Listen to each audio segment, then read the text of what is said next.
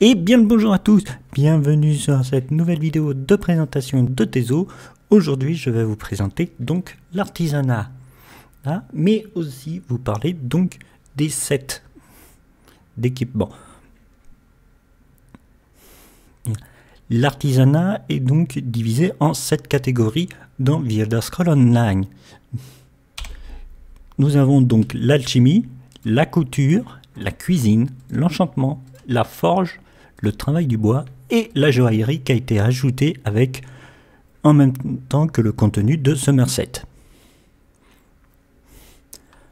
Voilà, donc au départ il n'y en avait que 6, maintenant il y en a 7 des artisanats. Pour débloquer les lignes de compétences d'artisanat dans votre euh, fiche de compétences, il faut vous rendre tout simplement dans une ville où il y a des ateliers d'artisanat et au moins les utiliser une fois. Une fois seul que vous avez utilisé au moins un atelier d'artisanat, ça va vous débloquer la ligne.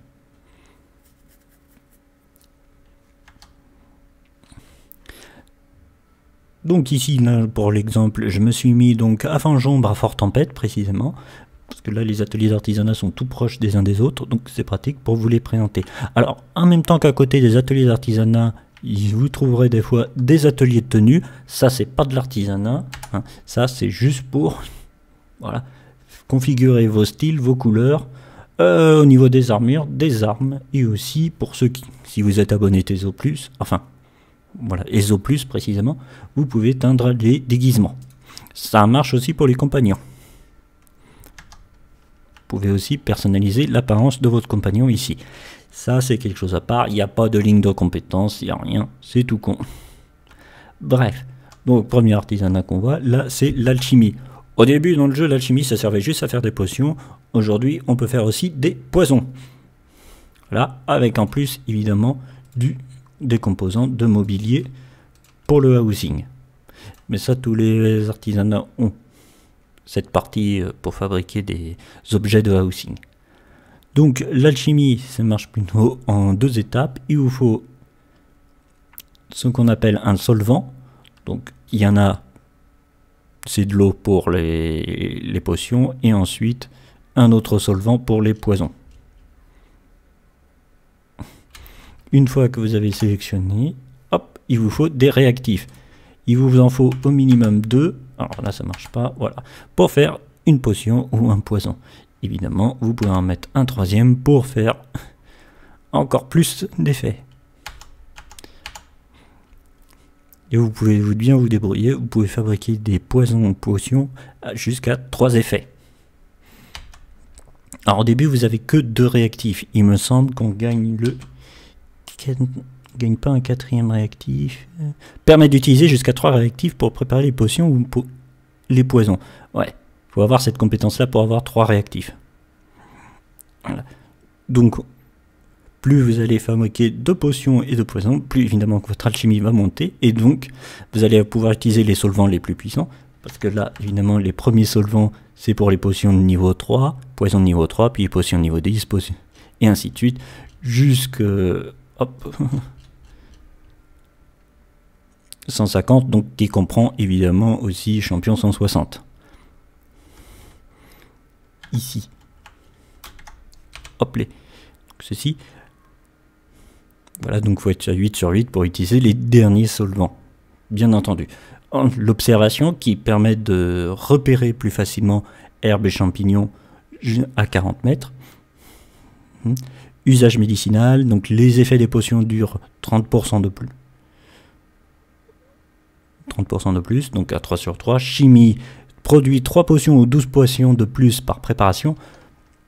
Oui, parce qu'au début, quand vous prenez, faites ça, que vous faites ça, voilà.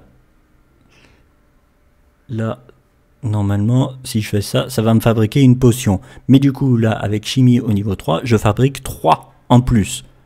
Donc là, ça m'a fait 4. Pour les poisons, de base, c'est 4. Et là, ça vous allez en fabriquer. Fabriquer donc 12 de plus. Donc ça fera un total de 16. Tout ça en consommant seulement un solvant et deux réactifs. Enfin, un de chaque des deux. Donc ça vous permet de faire des économies. Donc l'utilisation du laboratoire, on a vu, c'est pour avoir les trois réactifs. Et enfin, sang de serpent réduit la durée des effets négatifs des potions de 100% lorsqu'on les consomme. Voilà. Si vous faites une potion et que jamais vous avez un effet négatif, donc avec ça, vous ne subirez plus l'effet négatif si vous buvez la potion.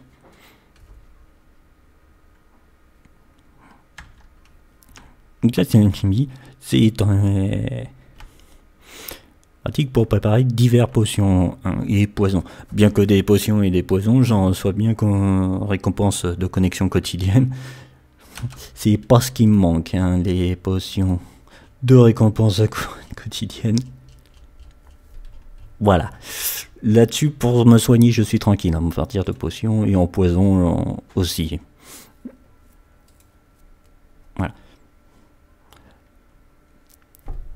Ouais, ça, je les ai pas achetés. C'est bien les connexions quotidiennes. Oui, parce qu'on peut les acheter aussi, vu que c'est à couronne, dans la boutique à couronne. Mais vous allez jamais en avoir besoin d'acheter. Honnêtement, avec ce qu'on gagne. Voilà. En plus, au pire, si vous avez besoin des potions à triple restauration, comme je vous ai dit, vous pouvez les faire en alchimie. Vous allez exactement avoir les mêmes valeurs. C'est pas plus pété, hein, les potions de la couronne. Bref. Donc, nous avons ensuite l'atelier de couture pour vous. Donc, de la couture. Donc là, pareil, on va avoir, le premier pouvoir, enfin, première compétence, qui me permet d'utiliser évidemment des matériaux de plus en plus évolués. L'observation qui vous permet de repérer les plantes fibreuses. Alors ça c'est uniquement pour les armures légères, parce que pour l'armure moyenne, c'est des peaux, donc là il va falloir tuer des animaux, donc il n'y aura pas de repérage, d'observation. Là on a un fournisseur, donc euh, tous les jours dans votre euh, courrier, vous allez avoir quelqu'un qui va vous livrer des ingrédients. Donc plus c'est évolué, plus vous aurez d'ingrédients en quantité et en qualité. Le décousage améliore les chances d'extraire des ingrédients de couture et augmente la qualité des ingrédients donc obtenus. Oui, parce que vous pouvez fabriquer, mais vous pouvez aussi démonter hein, dans le cas de la couture, pas dans les potions. Voilà. Surpiqûre réduit le temps d'étude de 25% et limite le temps d'étude à 30 jours et permet d'étudier trois objets à la fois. Ça, c'est la recherche. C'est uniquement pour la couture, la forge, le travail du bois et la forge. Et ça sera important pour plus tard. Et enfin, expertise, expertise, expertise oh là, en tanin. Donc, maximise les chances d'améliorer des objets avec des tanins. Ça aussi, l'amélioration, on va en parler. Justement, on va voir. Donc, voilà tout ce qu'on a pour l'atelier de couture.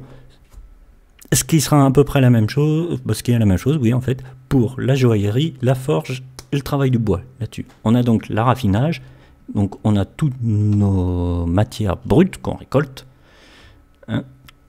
et de là, on va transformer. Et peut-être un peu trop là, ça va être long.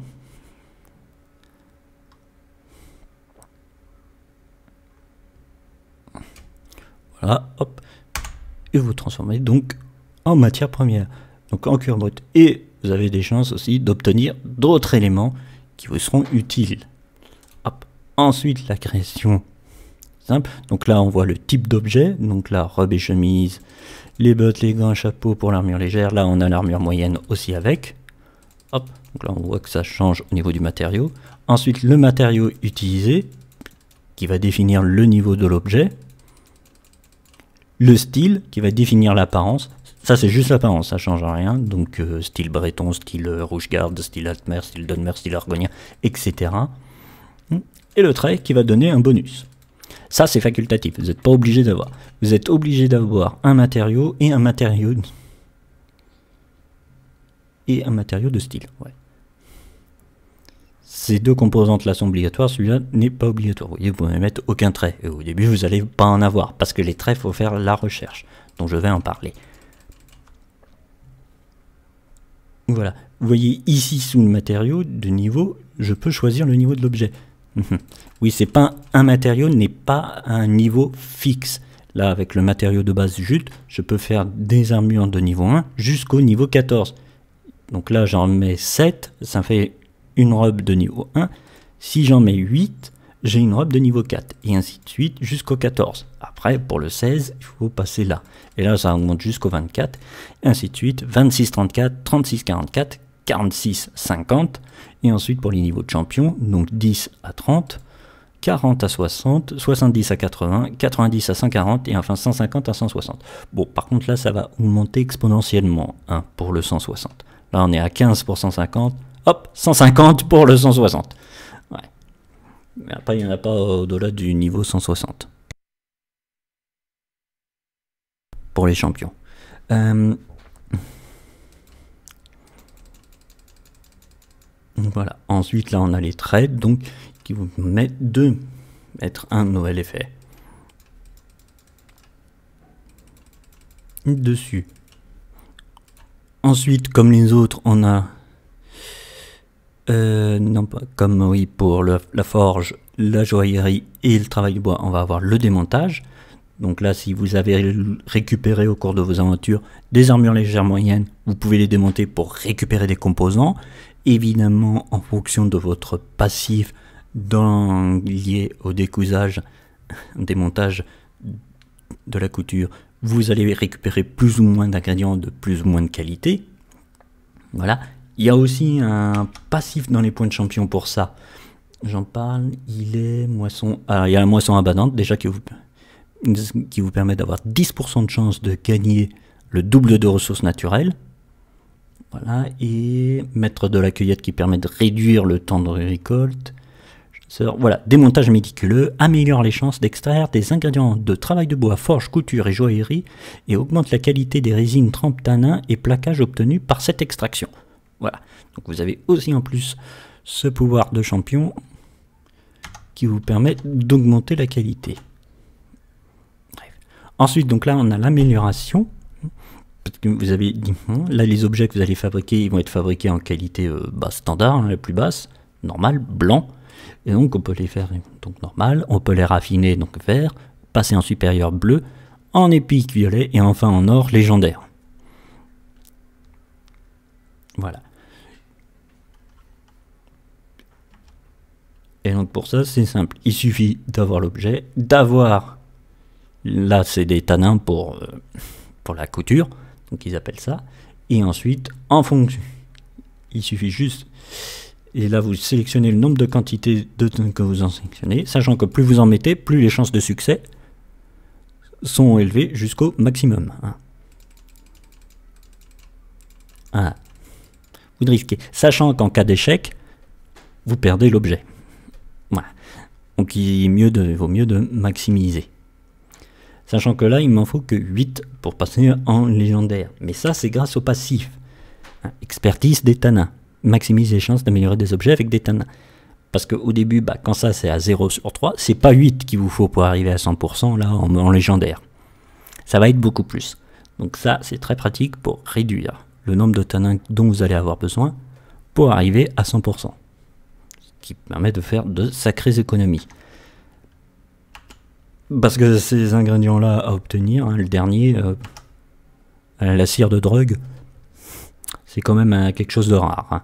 Et ça vaut quand même assez cher euh, sur le marché. Ensuite, hop, le dernier onglet, enfin, l'avant-dernier.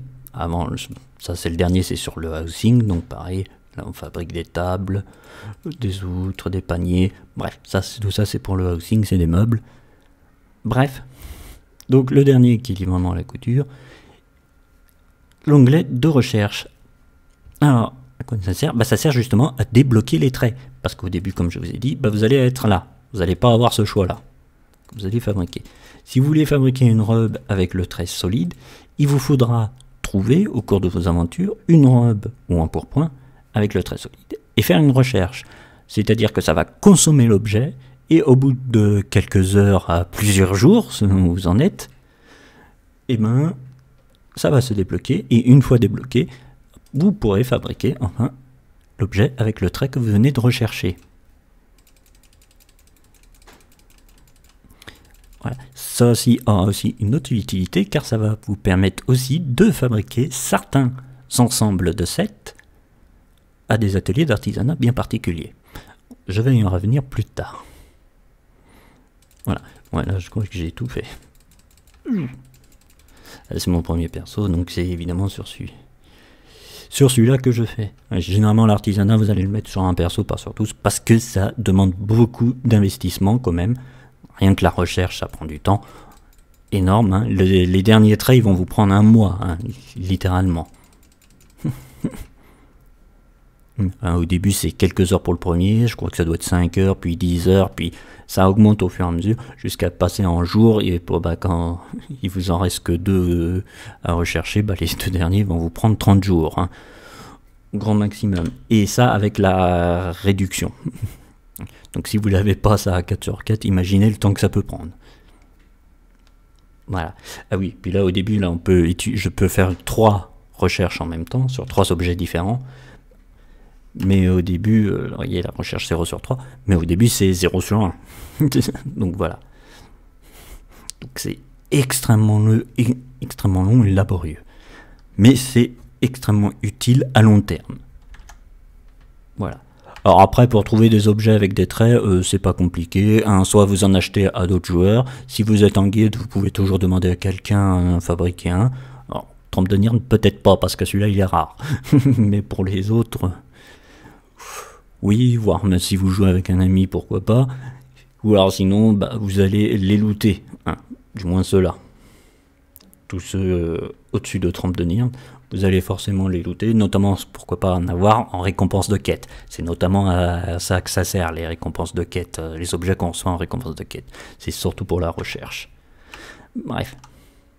Voilà. Donc ça, c'était la couture. Donc on a la même chose au niveau de l'atelier de forge, donc le raffinage, mais la fabrication, donc là sauf qu'on a bon deux onglets supplémentaires puisque là ça permet de faire des armes et des armures, donc armure lourde et les armes physiques hein, à une main et deux mains, donc toujours la même chose, matériaux, style et le trait, et le démontage, donc là aussi dans les deux catégories, l'amélioration, hein, la recherche, Bon là j'ai pas tout parce que... ouais. Il sort tous les épées longues. voilà. Et les diagrammes, bon, tout ce qui est mobilier pour le housing. Euh, on a donc ici la joaillerie. Donc pareil, raffinage. Hop, création. Bon, alors là, il y a juste anneau et collier. Il y en a moins. Il n'y a pas de style. Par contre, là, cette fois-ci, vous avez juste besoin des matières premières, puisqu'ils ne sont pas visibles euh, physiquement sur votre perso. Donc il n'y a pas de style pour cela. Donc là aussi au niveau des matériaux, une petite légère différence. Hein. Au lieu de 1 à 14, ça va jusqu'à 1,24 puis 26,50, 10,70, 80, et 150, 160. Il y a moins de types de matériaux aussi. On a toujours par contre les traits. Hein. Ça, ça n'a pas changé. Donc pareil, démontage, amélioration, recherche. Ah, par contre, évidemment, c'est pas les mêmes recherches, hein, ce sont des bijoux. Et enfin, les esquisses, bon, tout ce qui est mobilier. Ensuite, euh, là, on a le travail du bois. Bon, c'est la même chose, donc raffinage, armes. En vêtements, c'est juste le bouclier. Armes, donc ça, c'est tout ce qui est lié au bois, l'arc, les bâtons, destruction et de rétablissement, démontage, amélioration, recherche. Hmm. On voit aussi que les recherches ne sont pas les mêmes en fonction des armes, si c'est arme ou armure. Voilà. Et enfin, tout ce qui est mobilier. Enfin, le dernier, enfin l'avant-dernier on va dire, ce qui est l'enchantement, donc. Là aussi on a encore en anglais pour tout ce qui est mobilier, euh, de housing. Sinon, base, on a création et extraction. Tiens, d'ailleurs, j'en ai un. Voilà, j'ai obtenu ça, déni. Voilà. Et donc, bon, comment ça marche? Eh bien, il vous faut trois runes précises. Il vous faut une rune de puissance qui va déterminer le niveau d'enchantement, une rune d'essence, son type, une rune d'aspect, sa qualité. Voilà. Donc là, c'est une, une renforcée. Donc c'est pour enchanter au minimum un objet, là entre autres, une arme de champion niveau 10. Voilà. Avec l'attribut donc de glace, donc ça va faire des dégâts de givre supplémentaires. Et là, c'est la qualité normale. Après, j'augmente, hein, vous voyez, hop. Ça augmente, hein, on passe à 950, 850, 930, 983 et 1098 de dégâts de givre. Voilà. Après, si je prends le dernier, c'est lequel? Euh, Puissance 10, voilà, 150. Ouais, non, c'est pas celui-là le dernier. Il y en a un spécial pour les... Ah, ça, c'est retrait. 160. Euh, bah, je le perds dans tout ce bazar. 160. 160. Oui, à 150, on est à 2941. Et là, on est à 3446 à 160. Vous voyez quand même que ça a de l'influence. Ça, cet enchantement, c'est que pour les armes donc de champion niveau 160. J'ai en fonction de de l'élément qu'on met. Hop, on a des, des glyphes pour armes, des glyphes pour armure et des glyphes pour bijoux. Une fois que vous avez votre glyphe, il faut aller dans votre inventaire, vous faites un clic droit sur l'objet que vous voulez enchanter, vous faites enchanter et vous choisissez votre glyphe dans la liste. Dans le cas d'un glyphe d'arme, en même temps, ça met le niveau de charge au maximum. Parce que bon, pour ce qui est des enchantements d'armes et de bijoux, l'enchantement il dure indéfiniment. Pour l'arme, il y a des charges. Alors là on voit pas avec le poison, j'enlève le poison. Alors vous voyez, il y a une barre bleue ça, ça sera le niveau de charge. Plus vous allez utiliser l'arme, plus le niveau de charge va diminuer jusqu'à être vide. Et donc, comme dans les Elder Scrolls solo, il va falloir recharger l'enchantement avec une gemme spirituelle. Ou alors, vous pouvez appliquer un nouvel enchantement, ce qui fera un nouvel enchantement avec son niveau de charge au maximum. Bon. Bon, par contre, bon, je ne vous ai pas présenté donc les lignes de compétences des autres. Hein. Euh, donc forge, bon, bah, c'est la même chose hein, par rapport à la couture. Travail du métal pour euh, utiliser les matériaux les plus évolués. L'observation, mineur qui est aussi euh, donc un fournisseur livreur donc qui va tous les jours vous donner des ingrédients de forge dans votre courrier donc l'extraction de métal qui augmente les chances en démontage, ça pour la recherche, et ça pour maximiser les chances d'amélioration. Hein. On a la même chose au niveau du travail du bois. Et en joaillerie, plus ou moins, il y en a un en moins, vous voyez, on n'a pas de fournisseur en joaillerie, et ce qui est bien dommage. Voilà. Donc gravure pour la qualité, œil pour repérer les gisements, extraction hein, pour améliorer la qualité de démontage, recherche, là aussi, pour augmenter la vitesse de recherche et limiter à 30. Par contre, ça n'augmente pas le nombre. Hmm. pour... Ouais. Ouais, exception euh, de la forge du travail du bois et de la couture, la joaillerie, vous ne pouvez qu'en faire qu'une, même au niveau maximum du passif. Ça sera toujours une à la fois. Après tout, vous avez qu'un collier et qu'un anneau. Alors, je vais faire des recherches. Il y a beaucoup moins d'objets. C'est logique. Un maximum de 3, ça servirait à rien. Donc. Et deux, bah, ça simplifierait grandement les choses. Mais bon. Et à bas les plaquages pour diminuer le coût en plaquage et augmenter les chances d'amélioration. Euh, en enchantement, on a ça. On a deux euh, passifs à améliorer pour améliorer la qualité de nos enchantes. Un, l'amélioration de puissance, qui nous permet d'utiliser donc les runes de puissance, celle qui définit le niveau, un niveau champion 150-160, Hein. Par exemple, entre autres, c'est ça qu'il va falloir augmenter. Parce que de base, vous pouvez utiliser toutes les runes d'essence, hein. glace, feu, euh, foudre, tout ce genre de choses, là, il n'y a pas de problème. Par contre, pour les runes de puissance, donc il faudra améliorer ça pour utiliser les runes de puissance les plus évoluées. Pour les runes d'aspect, pareil, il va falloir améliorer ça. Au début, vous pouvez utiliser la rune d'aspect qui vous permet de fabriquer en qualité blanc. Hein. si vous voulez vert, bleu, violet et enfin or, ben, il va falloir améliorer ça. L'observation, bon, ça c'est pour repérer toujours les runes plus facilement. Fournisseur, donc ça c'est quelqu'un qui va fournir des composants quotidiennement, hein, comme pour les autres que j'ai dit. Et enfin, extraction, hein, augmente les chances d'extraire euh, les runes hein, des glyphes que vous allez démonter. Voilà.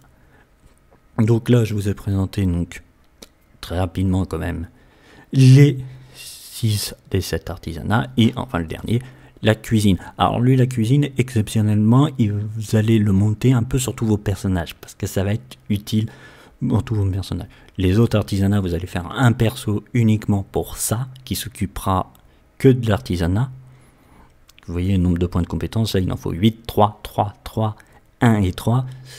Ouais, sachant qu'il y a plusieurs ordres, ça va vous faire dépenser des points de compétence. Et malgré ça, j'en ai dépensé dans les autres arbres, j'en ai 69. Hein. Ouais. Au début, les points de compétence, je crois que je l'ai déjà expliqué dans ma vidéo de présentation de compétences, vous n'allez pas avoir beaucoup, vous allez dire, mais mince, le mets où J'ai beaucoup de choses à placer. Puis à la fin, vous allez en avoir à plus quoi faire. Bref. Euh, sachant que j'ai aussi dépensé des points de compétence pour tout ce qui est de l'Antiquité. Donc, imaginez. Bref. Euh, donc, on a la cuisine qui, qui, donc, pour tous vos personnages. Car ça permet d'augmenter la quantité maximale d'une ou de plusieurs ressources, hein, santé, vigueur ou magie, ou d'augmenter la régénération d'une ou de plusieurs de ces ressources. Donc là, on a la première compétence, 1. Amélioration des recettes. Donc ça, ça vous permet de, là entre autres au dernier niveau, de préparer des recettes de champions 150. Mais si vous ne l'améliorez pas, vous allez être bloqué aux premières recettes de premier niveau donc évidemment avec des bonus moindres. Donc si vous voulez après euh, préparer des recettes pour le 20, 30, niveau 40, puis champion 10, 20, jusqu'à 160, bah, il va falloir monter ça. La qualité des recettes, là, c'est ce qui va vous... Comme pour les runes, en fait, c'est un peu comme l'enchantement. Une pour la puissance et une pour la qualité, on va dire, de la recette. Début, les recettes, euh, ça sera déjà un 1 sur 4 par défaut, parce que les recettes, elles sont en vert, bleu, violet et or. Il n'y a pas de recette blanche. Voilà. Mais donc, au début, vous allez pouvoir utiliser des recettes de qualité verte. Puis pour celles en bleu, bah, va falloir dépenser un point là-dedans. Puis un, encore un en plus pour violette et encore un en plus pour or. Voilà. Donc ensuite, c'est pour ça que c'est pour ben, c'est pour les autres passifs que vous allez monter la cuisine. Parce que sinon, s'il n'y avait que ça, en fait, il n'y aurait pas besoin de monter la cuisine sur tous vos personnages. Il suffit juste de faire un personnage euh, pour l'artisanat, donc qui fera aussi que la cuisine. Vous faites les plats, vous les mettez en banque et vous les récupérez avec votre autre personnage, vos rerolls. Mais là, sur les rerolls, vous allez les monter aussi. Pourquoi? Parce que les autres passifs sont très utiles. Gourmandise qui prolonge l'effet de la nourriture, donc de 20 minutes. Voilà, à 3 sur 3, et gastronomie qui, elle, va prolonger l'effet de la boisson. Donc les effets des boissons et des nourritures qui durent plus longtemps. Ensuite, là, on a chef et brasserie. Alors, sachant que ça, pour augmenter la durée des effets, on a aussi un point de champion. Normalement, si je dis pas de bêtises, rationnement ajoute 10 minutes par palier à la durée de tout aliment ou boisson qui augmente les caractéristiques de votre personnage. Donc 10 minutes par palier, sachant qu'on a 3 paliers. Donc 10, 20, 30.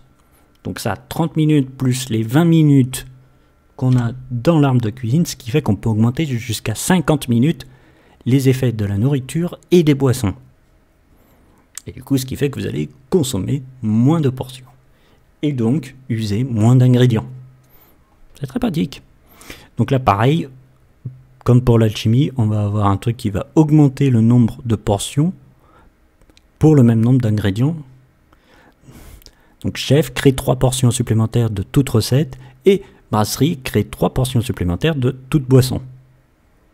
Et enfin, le fournisseur, c'est la même chose que pour les autres, tous les jours, quotidiennement.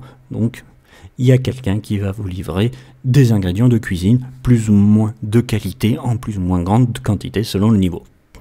Bref.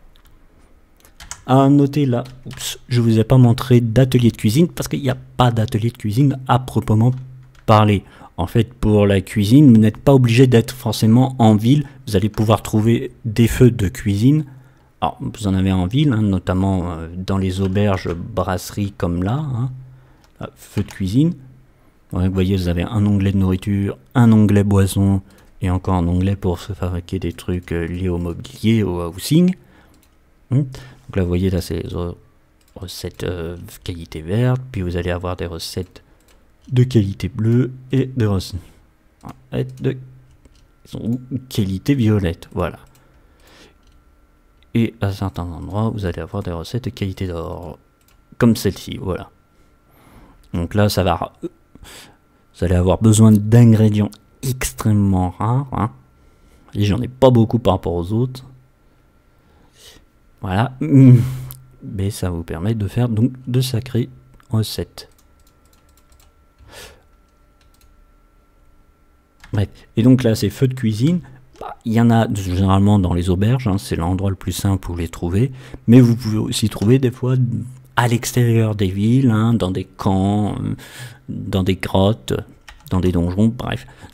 Donc, euh, si jamais vous avez besoin de fabriquer une recette, bah, vous pouvez en profiter là. Voilà. Donc, je pense que là, j'ai tout expliqué de la base sur l'artisanat. Hein vite fait, hein, vulgairement peut-être. Voilà. Maintenant, je vais vous emmener quelque part parce que je vous ai dit que les ateliers d'artisanat, on les trouvait en ville, mais vous allez aussi en trouver des fois dans la nature. Alors, à l'extérieur, pas n'importe où, il faudra, hop, c'est sur ces emplacements-là avec cette icône. Voilà, vous voyez, sortent un, burin, un marteau avec un burin et avec une petite flamme.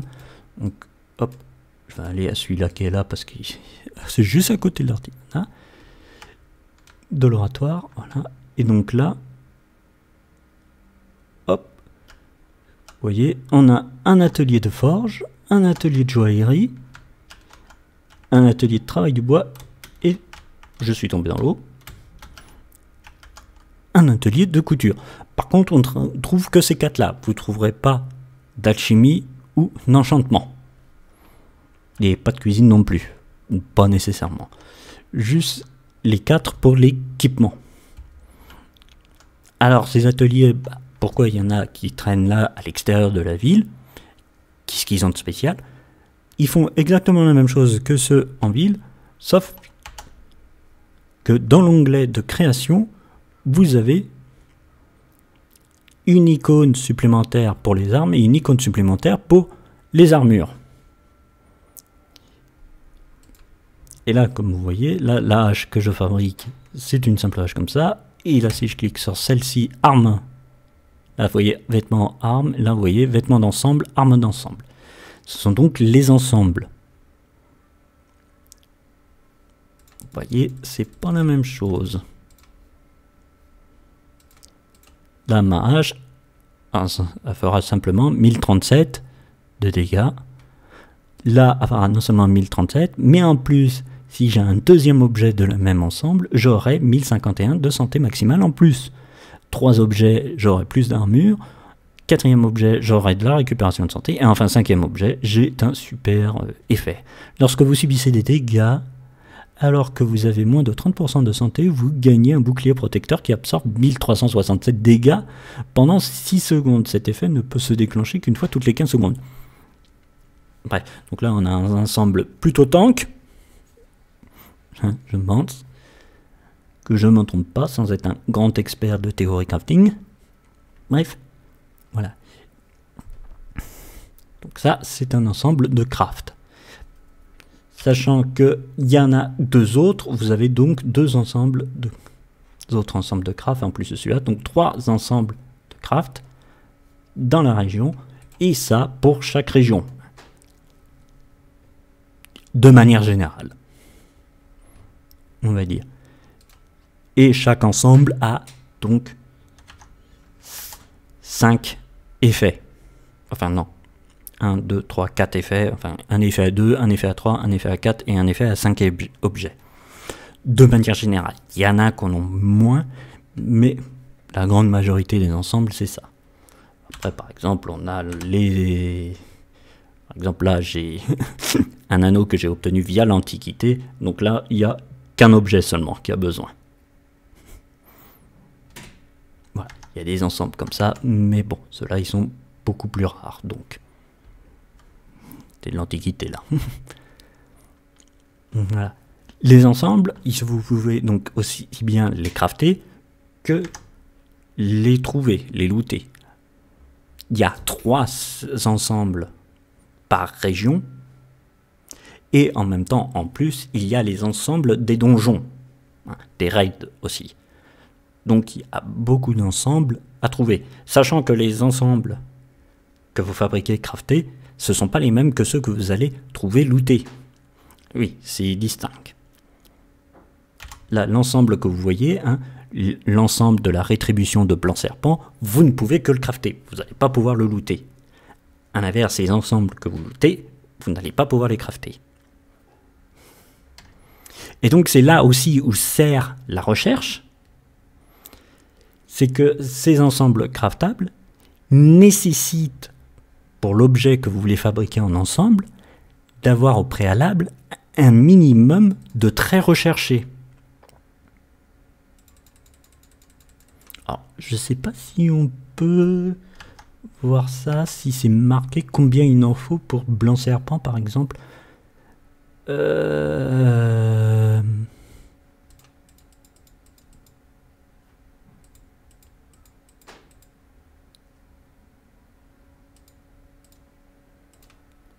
La hache, la masse, l'épée. Ben...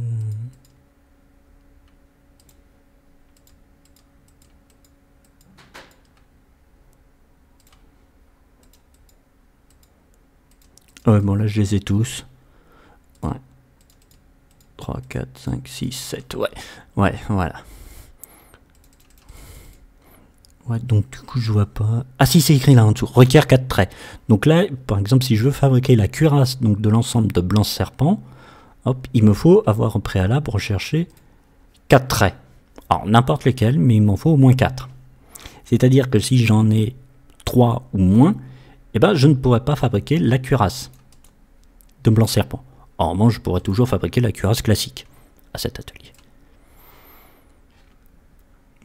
Et donc, selon les ensembles, eh ben, ça va, vous allez avoir besoin de plus ou moins de traits recherchés. Des fois, ça peut monter jusqu'à 9 traits. Donc, autant dire qu'il va falloir beaucoup de recherche.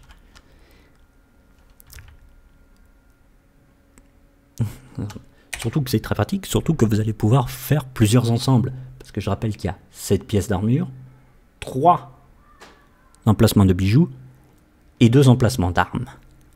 Ce qui fait 12 emplacements. Or, les, effets des 7, c'est jusqu'à 5 objets. Donc vous pouvez faire avoir 2 ensembles à 5 objets, plus un ensemble à 2 objets.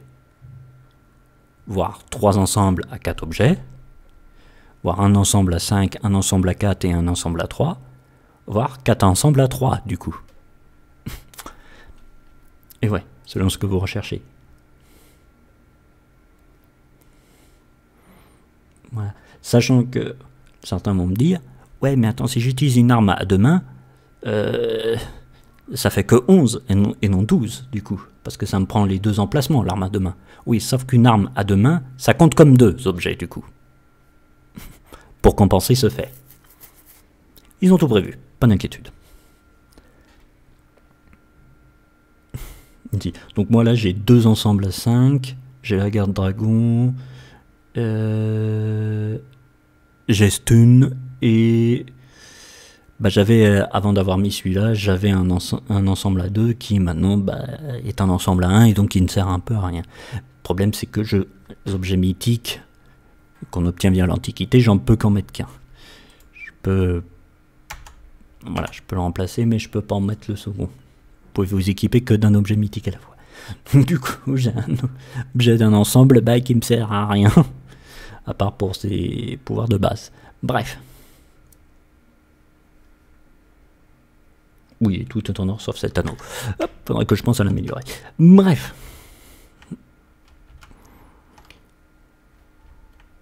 Voilà. Donc, voilà, pour conclure et pour résumer l'artisanat, nous avons donc de l'artisanat en ville, mais aussi en extérieur, sachant qu'en ville, ce sont des ateliers d'artisanat classiques, en plus de l'enchantement et de l'alchimie. Dans, à l'extérieur, sur la carte du monde, à certains emplacements, c'est juste l'artisanat pour la forge, couture, bois et joaillerie, mais ces ateliers-là, à la différence de ceux en ville, permettent de faire des ensembles si on a les nombres de traits requis. La cuisine, tant qu'à elle, peut se faire en ville comme dans la nature si on tombe sur un feu de cuisine dans la nature. Mhm. La forge, la couture, le bois et la joaillerie, c'est des artisanats d'équipement. Enfin, la cuisine, la chimie et donc l'enchantement, ce sont des artisanats de soutien qui vient en complément. Voilà. Mais tout cela va ensemble. Il vous faut faire un bon équipement, qualité or, puis avec un bon enchantement de qualité d'or, vous mettez les deux ensemble et ça va. Ça va améliorer considérablement la qualité du tout. En plus, si ça fait partie d'un ensemble, c'est encore mieux. Bref.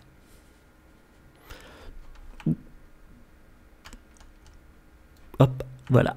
Donc c'est tout pour aujourd'hui, du moins pour la vidéo sur l'artisanat. Pour le moment, hein, je ne sais pas, peut-être qu'ils en rajouteront un huitième à terme. Alors je vois pas sur quoi du coup, parce que euh, je crois que là on a tout. Avant, avant le rajout de la joaillerie, bah, on pouvait pas faire de bijoux. C'était juste euh, du loot pour les bijoux. Voilà, ça a donc été rajouté en même temps que Somerset. Et du coup, bah, maintenant, il me semble que ça été entièrement complet. Ah, peut-être, euh, vu que ça fait des années que le niveau maximal de l'équipement c'est champion 160, je ne pense pas qu'ils sont prêts à nous embêter en nous rajoutant un niveau d'équipement supplémentaire. Donc je pense que la vidéo est assez complète là-dessus. Bref. D'ici la prochaine fois, je vous dis portez-vous bien et à la revoyure. Ciao